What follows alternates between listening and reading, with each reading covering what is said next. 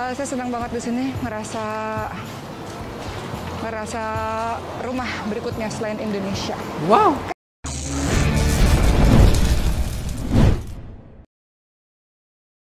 Assalamualaikum warahmatullahi wabarakatuh. Jumpa lagi dengan saya guys Cak Mujib. Gimana kabar teman-teman semua? Semoga sehat selalu dalam lindungan Allah subhanahu wa ta'ala Dijauhkan dari segala mara bahaya Malapetaka bencana dan balak Serta berbagai macam penyakit. Amin amin ya rabbal alamin. Oke guys di sini ada sebuah requestan Daripada teman-teman sekalian di Instagram. Jangan kaget Ini bedanya Indonesia dan Malaysia Oke, saya penasaran sekali dengan video ini karena ini diupload oleh seorang ustazah yang ada di Indonesia guys Yaitu Oki Setiana Dewi. Jangan lupa untuk di like, share, komen, dan subscribe-nya buat teman-teman semua Yang masih baru ataupun belum tahu ya channel daripada Ustazah Oki Setiana Dewi. Nah langsung saja guys kita play videonya. Saya sudah penasaran apa yang akan disampaikan oleh Ustazah Oki Setiana Dewi kepada kita semua ini. Jadi ini bedanya Indonesia dan Malaysia. Dia memastikan seperti itu dan tanda seru banyak banget gitu guys ya. Jom kita tengok videonya. Let's go.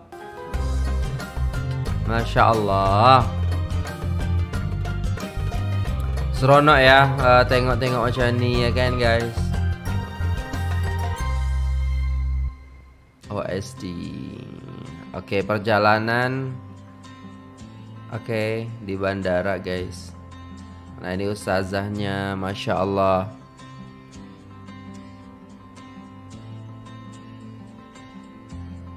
Kuala Lumpur.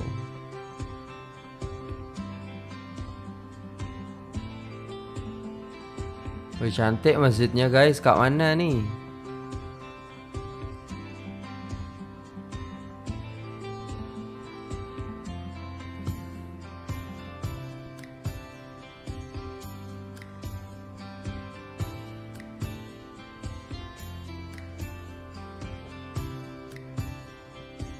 Masya Allah Mafaz. Weh menara kembar guys?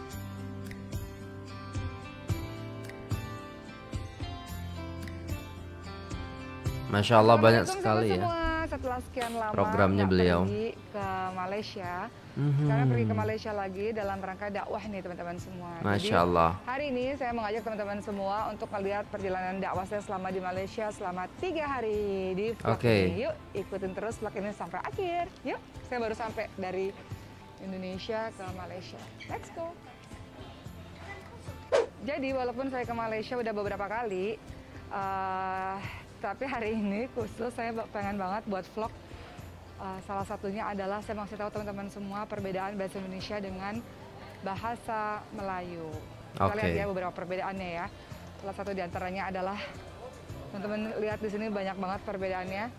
Misalnya kayak kamar mandi atau restroom bahasa Inggrisnya. Mm -hmm. Di sini bahasa Melayunya adalah tandas. Tandas. Kita lihat beberapa perbedaannya. Itu dia. Yuk. Nah, kalau kedatangan bahasa Indonesia-nya di sini tuh bahasa Melayunya balai kedatangan, ketibaan. Balai ketibaan. Terus transfer counters di sini tuh counter pertukaran Indonesia apa ya? Mm -hmm. Transit. Transit. Uh, kalau misalnya counter pertukaran. Bahasa Indonesia-nya? Okay. Ambil bagasi di sini tuntutan bagasi. Bagasi. Oke. Okay. Lanjut maju kita ya dari dari dari situ kita bisa lihat nah, juga kalau guys bahasa Indonesia-nya gulungan selang di sini gelung hos Gelung Lanjut kita cari lagi yang lain. Mm-hmm. Kalau tombol atau button bahasa Melayunya butang.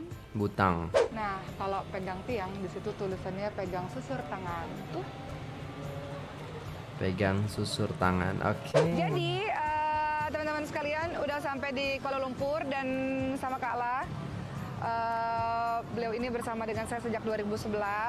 Masya Allah. Sebenarnya saya mau ceramah di Terengganu, teman-teman sekalian. Oh, Terengganu. Hanya saja perjalanan 5 jam naik mobil, jadi menyempatkan diri sebentar ke KLCC. Rasanya nggak sah kalau ke Malaysia, walaupun udah berkali-kali nggak ke KLCC, kan Kak? Oke. Okay. Gimana Kak?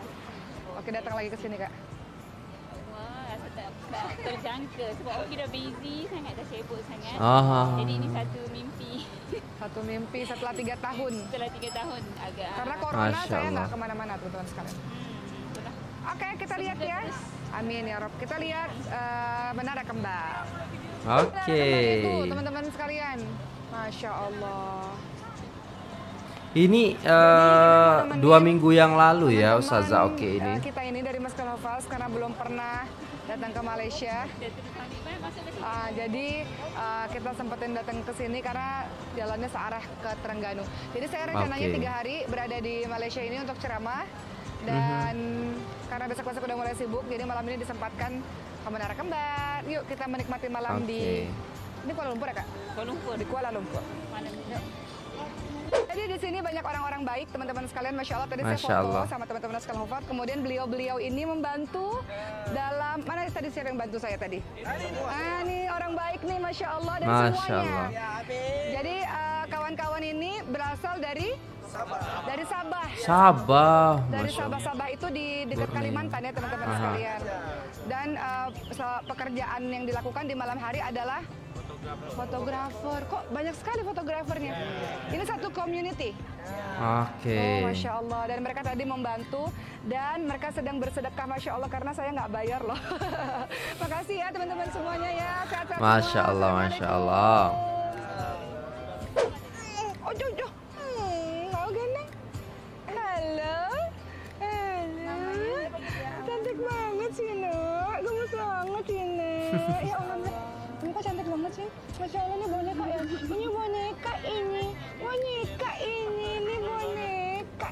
Seronok ya apabila ke sana gitu loh guys. ngasih makanan dia. Oh, lucu banget anak Allah. Oh, cantik banget mukanya. Jadi, mukanya diliatin dong, cantik banget. Halo sayang. Halo nak, Bismillah. Oh nggak mau, belum mau. Halo sayang. Nah, setelah tiga tahun nggak ke sini karena kemarin corona dan sebagainya, jadi belum bisa memenuhi undangan dari teman-teman yang ada di sini. Tapi Oke. alhamdulillah hari ini bisa kembali lagi ke Malaysia dan bisa bertemu dengan teman-teman yang ada di sini.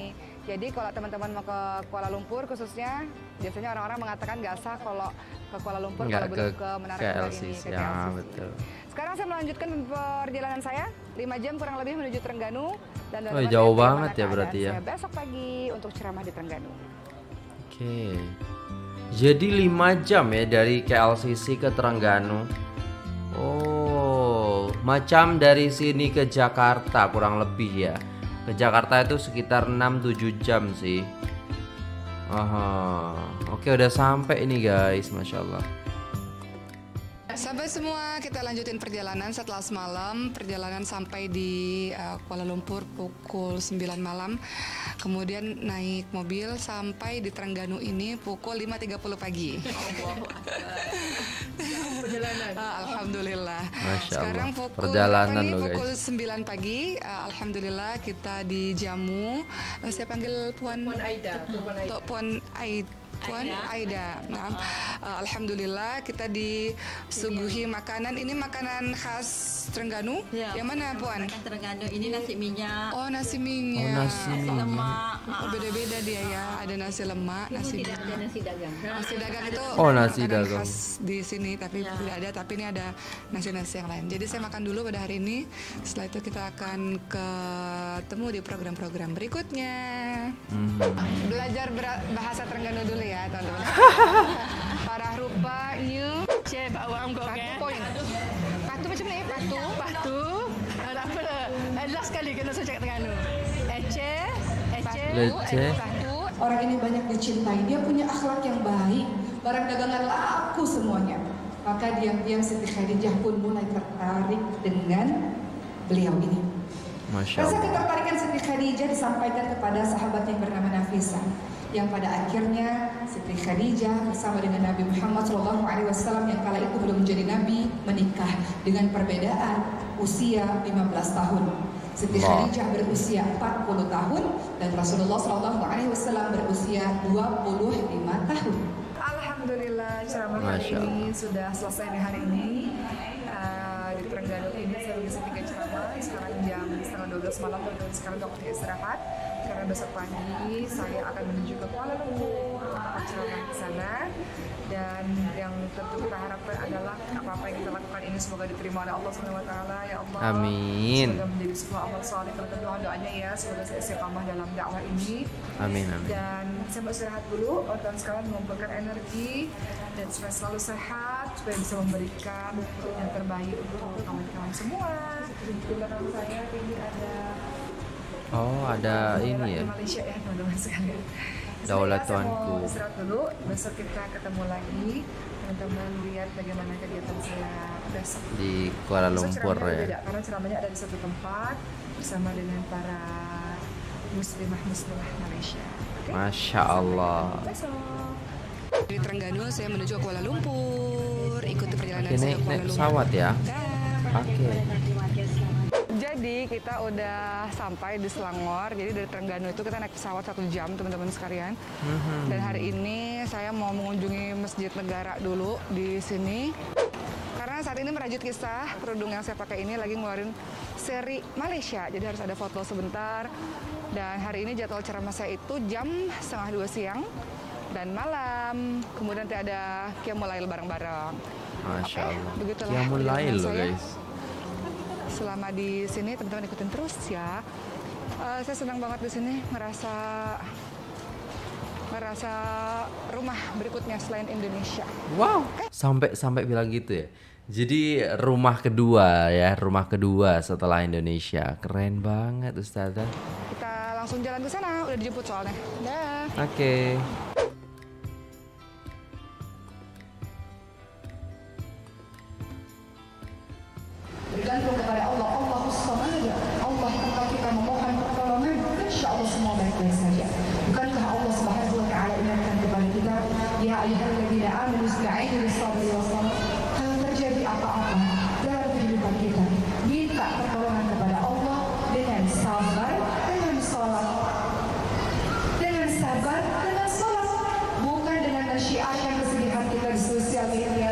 Betul. orang kasihan kepada kita. Kita punya Allah tempat kita mengadukan. Siapa pun yang berdoa kepada Allah, Allah kabulkan. Siapa pun yang meminta ampun kepada Allah Subhanahu wa taala, maka Allah ampuni dia. Seperti di malam terakhir pada saat semua orang tertidur, ada beberapa orang-orang yang memilih untuk berwudu, mengambil sajadah, menangis kepada Tuhannya akan dosa-dosanya menangis kepada Tuhannya akan maksiat yang pernah dilakukan di masa lalu, menangis kepada Tuhan yang meminta pertolongan agar Allah lindungi dari berbagai macam ujian-ujian yang diberikan dan itu rasanya luar biasa. Allah. Ini pasti jumpa dengan eh, tuan puan ya kan, terus datin, datuk, eh tak tak kalau tak kalau datuk tak, sebab ni khusus muslimah saja ya kan. Masya Allah seronok. Oke guys, sudah selesai videonya dan itulah tadi ya. Ternyata Ustazah Oki ini tadi itu di airport yang menerangkan tentang beda bahasa Indonesia dan juga Malaysia seperti itu. Dan di KLCC Ustazah Oki ini berjumpa dengan fotografer yang baik-baik ya. Difotokan ya kan? Tapi tidak bayar guys, gratis Masya Allah ya.